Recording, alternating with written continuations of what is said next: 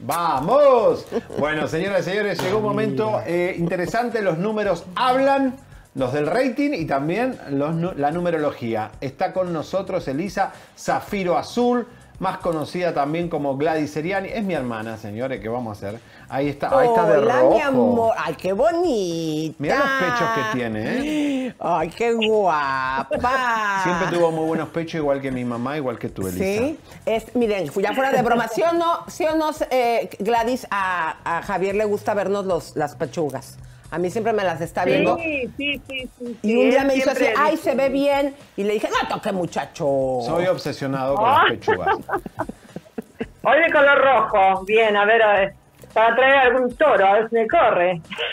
Acá del campo. Bueno, vamos a ver qué es lo que nos vas a enseñar, querida. ¿Por qué es tan importante que cada quien en casita saquemos nuestros números?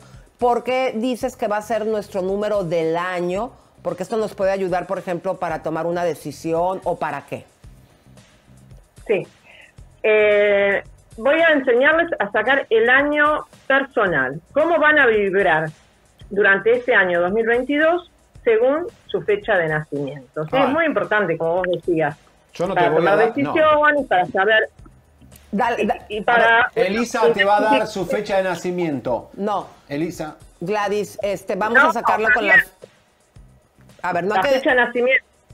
no, yo no te la voy a dar. Buscala en, en Wikipedia. Bueno, No, yo no te voy a dar mi edad, que el público sepa mi edad. No, el Elisa tampoco. Tiene 56 años. A ver, sácalo. ¿Cómo lo tenemos que hacer, mi amor, sin que nos balconiemos? no, solamente con la, la fecha del día y el mes. Ay, qué Ah, alivio. Ay, por Dios.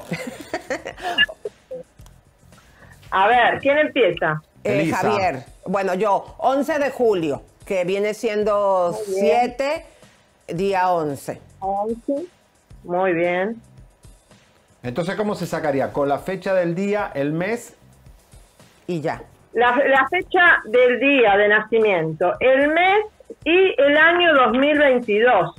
¿Se acuerdan que yo les dije que el año universal era... em, Seis. Claro. Así que en casa, comadres, vele sumando ahí eh, tu mes. Mira, mira. Ah, me vine preparada, Ah, ¿eh? muy bien. Ahí está Elisa. Sí. Wow. El 11 del 7, porque es el mes julio, más el año. Ok. Sumo los dos números, es 2. El 7 queda igual. Sumo los tres dígitos del año, me da 6. Ajá. 2 más 7, 9. 9 más 6, 15.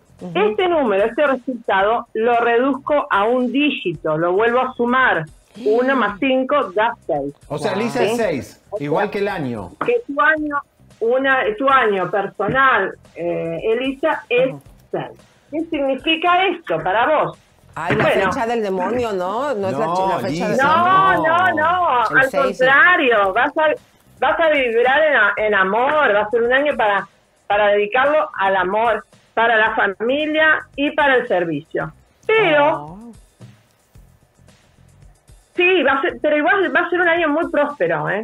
A Ay, nivel trabajo, suerte. Vas a tener mucho éxito, eh, vas a... mm, Está bueno para las inversiones, eso anótalo, ¿eh? Un buen año para hacer inversiones inmobiliarias. Invertí en mí, Elisa. Eh, sí, y sabes qué también, Elisa, aparte del amor y de, de, de lograr la armonía en el hogar y todo eso, mucha gente va a pedir tu ayuda, ¿sí?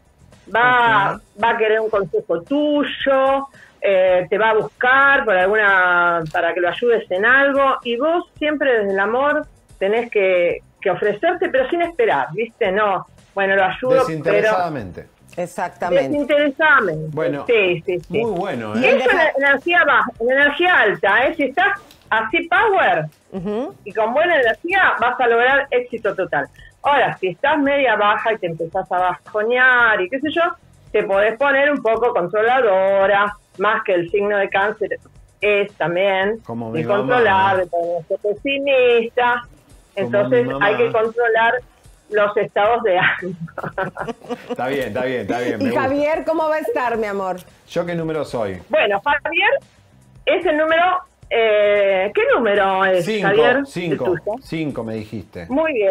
El 25 del 1 es el número personal 5. ¿Qué significa? Y bueno, mira, después de un año de mucho trabajo, de mucho eh, es- estructurar, de trabajo, de rigidez, de organizarte. ¿Voy a tener ¿sí? sexo? Este año, sí, pero libre, ¿eh? Mucha libertad en lo sexual. O sea, te va a ir muy bien en el amor, pero sin mucho compromiso. O sea, vas a, a dedicarte a disfrutar. Muy bien. Este año es para aventuras, para viajes, para mudanzas, ¿sí? Me También, Mudanzas. Me voy a mudar. y vas a recoger los frutos de este año tan eh, laborioso que tuviste. Voy a recoger, eso me gusta. Vas a recoger mucho, Bueno, sí. me encantó. Bueno, querida, hablando ya de otros temas, te quiero preguntar si este señor eh, se tomó la molestia de mandarte dinero porque las vacas que te dejó allá, 100 vacas, quería que tú les pongas a cada una de las vacas las gotas para la conjuntivitis. eh, en- que las buscaras nada más en 120 hectáreas ahí caminando, no pasa nada. ¿Qué pasó con esa situación? Mira, la situación está complicada porque eh, la gente está trabajando conmigo, que es poca, porque la gente no quiere trabajar. Tengo eh, un peón de hace muchos años que eh, toma, entonces no. ¿Qué es alcohólico? La mitad de las veces Don está. Es eh, alcohólico. Y bueno, sí, pero hace tiempo que pobrecito tengo que estar ayudando y, y- y no me no me hace la- las tareas que necesito. O sea, aparte, después, eh, mandas a Gladys aparte con un borracho para que le ayude No, el cómo va. está alcohólico. ¿Qué va a Pero hacer? Elisa si, es el, si el señor está alcoholizado, ¿cómo va a encontrar a las Sí. vacas junto con tu hermana? ¿No te mandó el dinero para No, el veterinario? el tema del COVID también. Que hay chicos que están con COVID, los chicos más jóvenes, más fuertes, bueno, salen, va- van a bailar y después vienen, ahora están todos enfermos, así que yo estoy enloquecida. Pero aquí lo fuerte, no, no, no. aquí lo fuerte, comadres, ¿Eh? que de- déjame les comento el chisme, eh, Gladys, que como están los chicos con COVID, este señor dijo que no se le acercaran a las vacas, pero Obvio, las vacas tienen las vaca ubres con COVID. explotando de leche. No, claro, y yo no sé qué hacer, no sé qué hacer, ya Ay, puse eh, anuncios para... Ay, sí, sí, son tan lindas, tan lindas. ¿Y para qué le pusiste un arete, Javier? No, porque es así para trasladarla, porque Clarabella es especial, ella eh, hace desfiles y además ella va a presentación y todo, tiene cocardas, ella ganó mucho concurso. ¿O sí? Sí, sí, ella es como una Miss Universo, como una sí. Alicia Machado de, de las vacas. Sí, vi- vi- Bueno, también- bien, bien ¡Ay, glamorosa, como, como, Lupita! Esta Lupita la ¡Ay, hija. Lupita! Hija de Fuego también, pero Fuego no la quiso reconocer.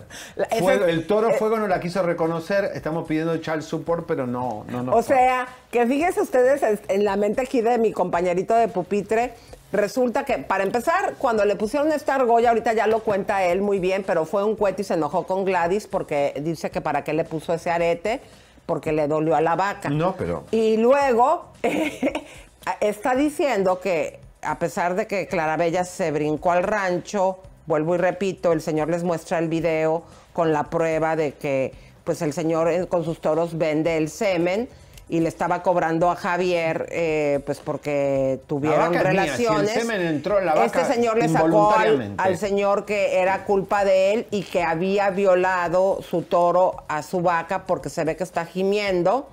O sea, vean en la mente de aquí No, de no Javier gemía, cómo ella lo voltea de- todo. De, de sagrado. Porque el toro ese No, es muy dotado, situación- Tiene un, ¿eh? una situación muy, muy, muy compleja. Para mí yo ya no la puedo sostener más. Pero no estaba gozando que- la vaca, porque Si él- ella es estrechita. Pero si Clarabella le hacía siempre mu fue así, estrecha. es gimen, no es que estuviera gritando. No, porque- no, no, pero en esta época eh, se ponen, se excitan. Es, es- es normal, es, es un animal. ¿Cómo entonces se va a es normal excitar? que- Es Claro. vaca. Pero Era- sí. Pero si o no te dio una ¿Cómo pena, no? Gladys, cuando este mamarracho va y le dice al vecino que estaba gritando la vaca en- durante la violación. O sea, Buah. Yo, ah, después hablamos, Sí, bueno. nena, porque hay que solucionar lo de la leche, no se puede ay, desperdiciar. no, no, no, sí, sí. Desperdiciar leche en este momento de la vida, ya lo dijo nuestro. No, no con lo que sale. No, no, hay que. Cuesta Bueno, más. Oye, si quieren saber su número personal, tienen que calcularlo como dijo Gladys y ahí ya saber qué números son y ahí ya tenés el mapa de cómo te puede ir en este año. Así que Gladys, Claro. te mandamos un Ah, beso, mi amor. Muchas gracias por habernos acompañado y nos vemos aquí la próxima Ya. semana.